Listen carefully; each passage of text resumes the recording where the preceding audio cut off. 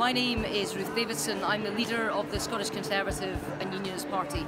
The reason that I'm coming to Women in the World today is uh, after the defeat of Hillary Clinton in the election, I think this is the time for women to really claim their future. This is the time where we see the next generation who don't just think actually that things are going to get better by themselves. They've got to go out and own their own future. This is the time for women to march on some of the big jobs in the world.